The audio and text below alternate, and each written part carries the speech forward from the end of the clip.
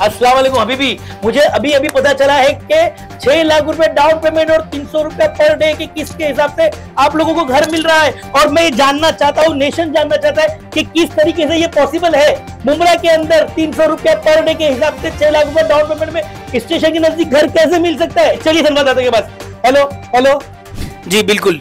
आ, मैं Sailesh six one two के बाहर खड़ा हूँ और यहाँ पे लोगों का भीड़ उमड़ा है। अरे बाप रे मतलब टू बेडरूम खत्म हो गया? हाँ यहाँ पे खत्म हो गया। ओहो। तीन सौ रुपया रोज का देने का है मतलब टीएमसी बिल्डिंग है और नियर बाय अपना स्टेशन है और क्या चाहिए इंसान को? तो इस हिसाब से पब्लिक को आसान पड़ता है मिडिल क्लास लोगों को आसान पड़ता है। तो मैं खुद भी जा रहा हूँ आप भी आइए और ज़्यादा जानकारी के लिए इस नंबर पे कॉल करें और कॉल भी तो पता है क्या करना है।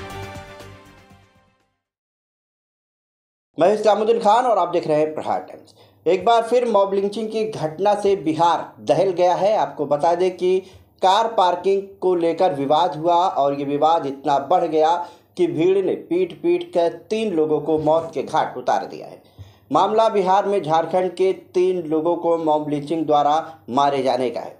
बताया जा रहा है कि एक दुकान के सामने कार पार्किंग को लेकर विवाद हो गया और ये विवाद इतना बढ़ गया कि कार में सवार युवक ने फायरिंग कर दी। और इस फायरिंग में गोली जाकर महुआरी गाँव निवासी राम शरण चौहान को लगी। खबरों के अनुसार गोली लगते ही मौत हो गई, जिसके बाद भीड़ का गुस्सा फूट पड़ा और कार में बैठे चार युवक, जिनके नाम वकील अंसारी, मुजाहिद राइन, चमन मंसूरी और अमन मंसूरी पर हमला कर दिया। भीड़ ने बड़ी ही बेरहमी से लाठी डंडों से इनकी ऐसी पिटाई की कि इसमें दो लोगों की मौके पर ही मौत हो गई, जबकि दो की हालत गंभीर बनी हुई थी।